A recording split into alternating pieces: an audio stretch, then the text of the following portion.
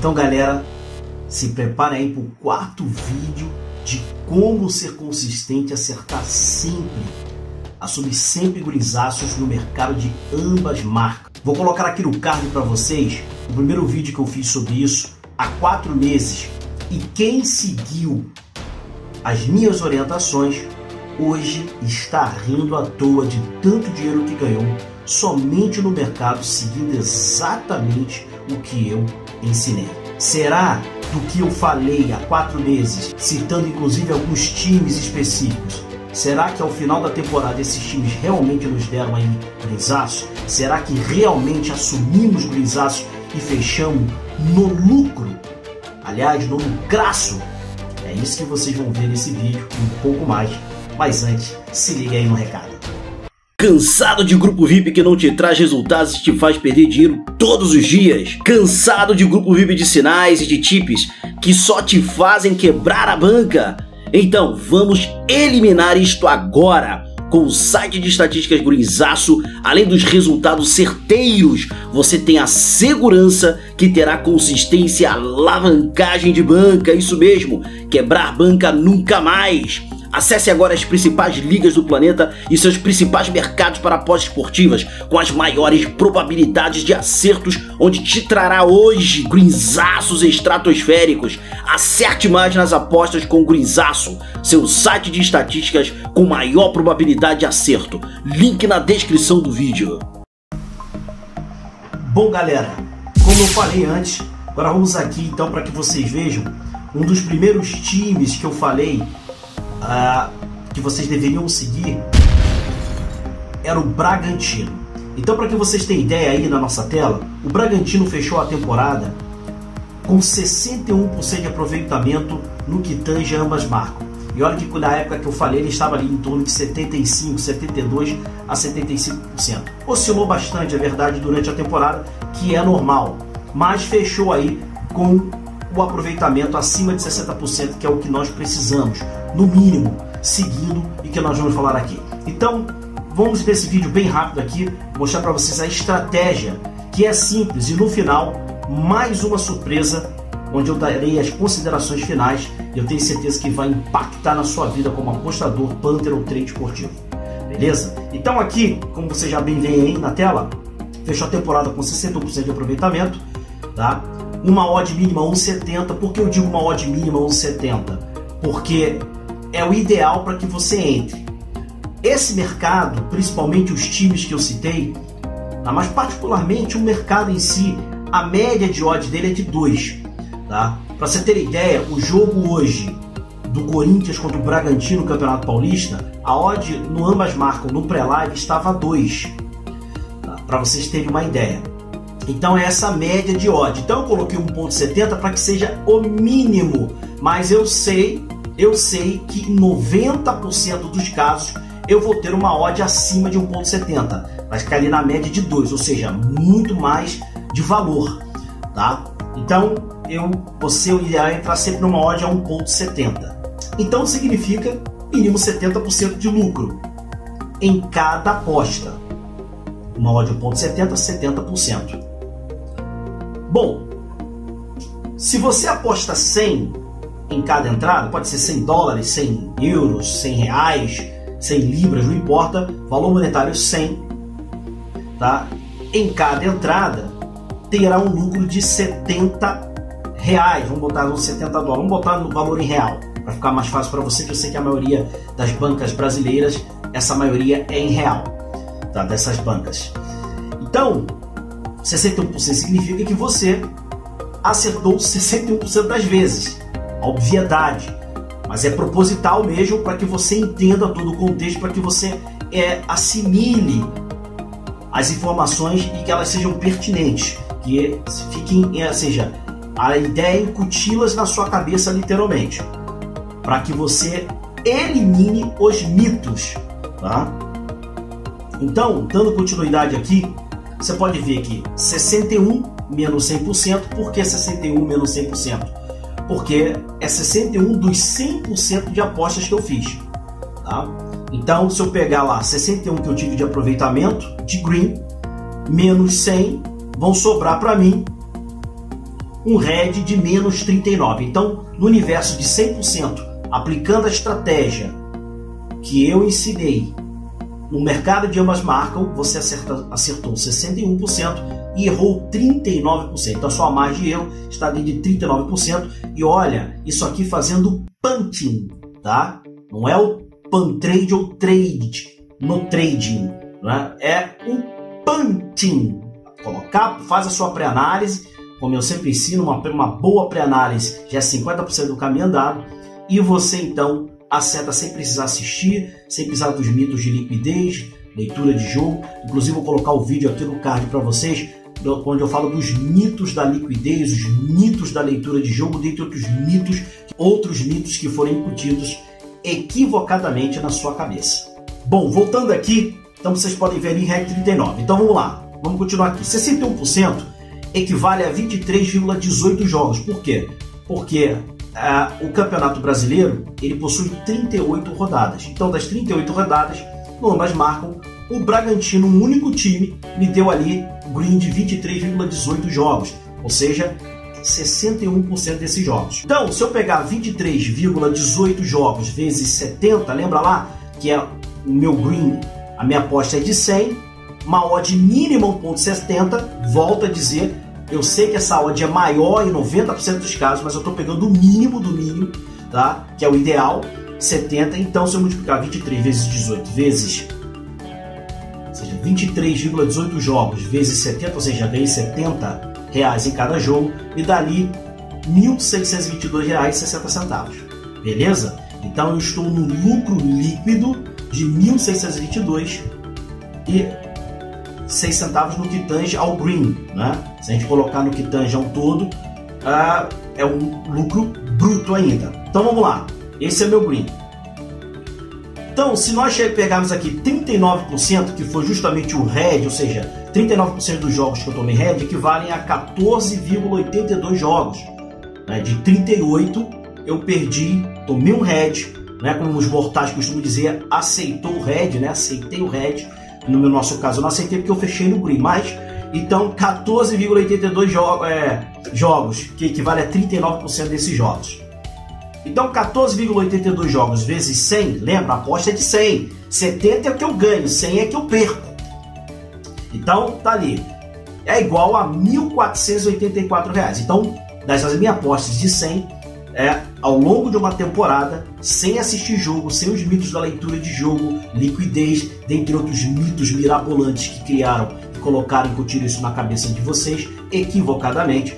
E aqui eu ratifico, é uma prova, né? já diz aí, ratifico que não precisa nada disso e fechou no lucro. O que dirá os Panthers, né? Com leitura de jogo, o cara não assiste, porra. Então, então, então liquidez, o que dirá? O cara vai lá bota aposta. Se não tem liquidez, dane, se ele ganhou, a casa tem que pagar. Simples assim. Beleza? Então, aqui, 1484 jogos. Vamos lá, de red, equivale a 14,82 jogos, né? Então, vezes 100, 1484. Então, vamos lá. 1622,6, que foram os meus greens, 61% de acerto menos 1484 de red, 39% de erro, tá? Então, nós temos aqui um valor líquido de R$ 178,06. Assumi o green, fechei no green uma temporada sem ao menos assistir um jogo sequer. Incrível, né? Aí você fala, pô, mas pouco. Você levou uma temporada, leva 6, 7 meses para um campeonato brasileiro para você ganhar 178 reais. Verdade. Aparentemente o valor monetário parece pouco, mas o percentual é monstro. Se você pegar a poupança, ela rende menos de 5% ou média de 5% ao ano. Se você pegar o tesouro direto, que a sociedade plantou, incutiu, dizendo que é o melhor investimento, e o seu gerente do banco fica ali querendo te empurrar, não é? é vendendo casadinha, venda casada, faz um seguro aqui, aumenta a crédito, aquela coisa toda, CDB, LCI, o tesouro direto, que é o menos pior, vai te dar 12% ao ano no máximo, ao ano. Com isso aqui você vai ganhar muito mais, tá? Em menos de um ano é precisar assistir um jogo. Mas ainda assim, não é pouco e vou, vou comprovar isso para você. Bom, agora escolha 10 ligas. Eu aqui estou falando de um único time, de uma única liga, com percentual de 61%. E eu sei que outros times, a maioria, tem um percentual maior. Por exemplo, eu só entro em times que tenham um percentual de 75% acima no mais marcam.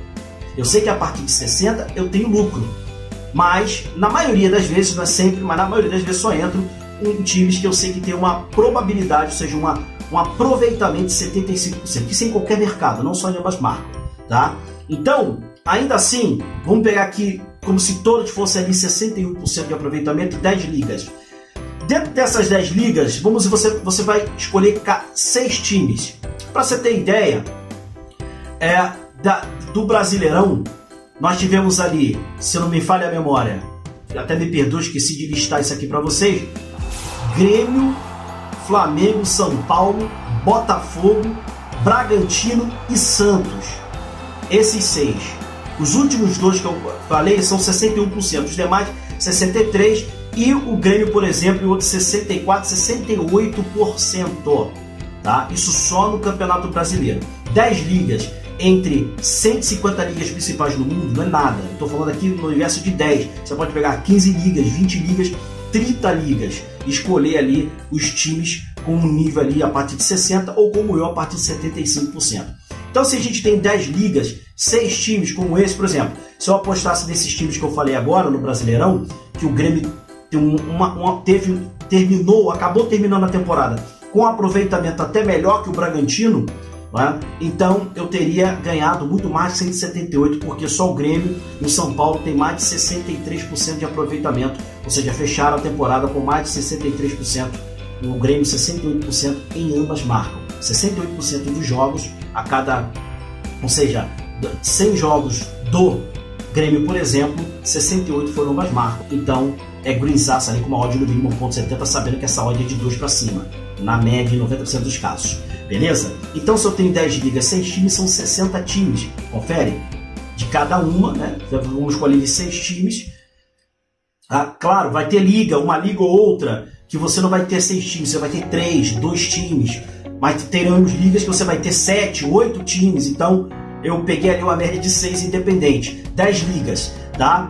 Então, 60 times vezes 178, aí agora que vê o volume, aquilo que você achava que é pouco. Porque muitas vezes no trade esportivo as pessoas costumam dizer que o valor é pouco e se atém o valor monetário e esquece do, do percentual de lucro, ou seja, o lucro sobre a stake, ou seja, o valor de aposta, ou o lucro sobre que você tem sobre a sua banca, o capital aplicado na bolsa de valor esportivo ou casa de aposta. E isso é que importa, quanto você faz de volume no dia e particularmente no final do mês.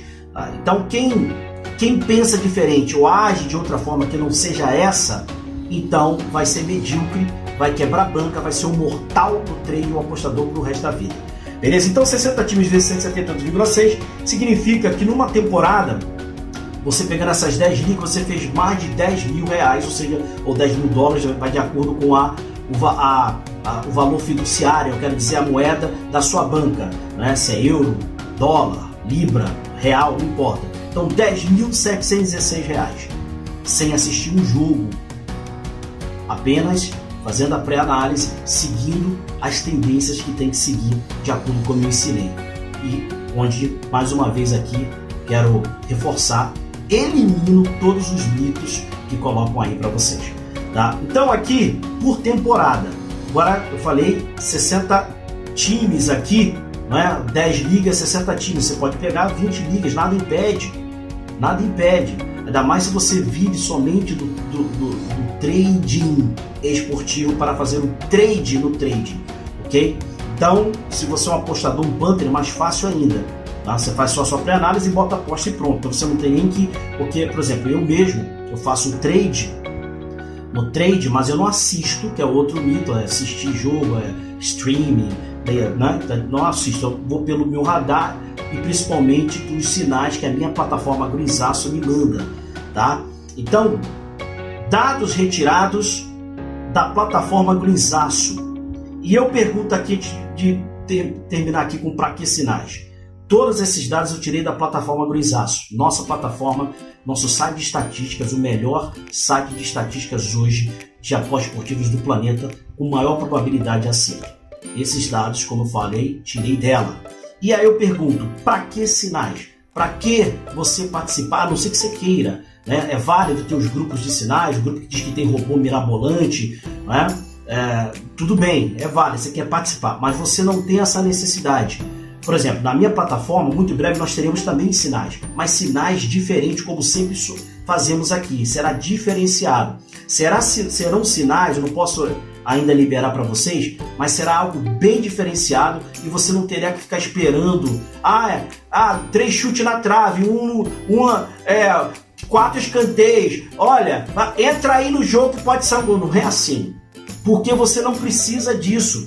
Porque quando você tem uma plataforma que ela te indica e ela te dá aquela probabilidade, aquela tendência, não é? Aquele aproveitamento, por exemplo, do 61%, por que, que eu vou me ater ali na hora, igual um robozinho, né? Se eu tenho uma plataforma que eu já posso fazer essas entradas até no pré-live e deixa lá que eu sei que no final eu vou fechar, eu vou assumir green. É isso que eu quero que vocês entendam. Estou dizendo que o, o, sinal não é válido, é legal. Sim, beleza. Só que é trabalhoso, não é inteligente. Você tem que ficar esperando receber mensagem para você poder mandar. Quando eu já posso antecipar isso para você 24 horas, independente do resultado, no final da temporada, você vai fechar no lucro.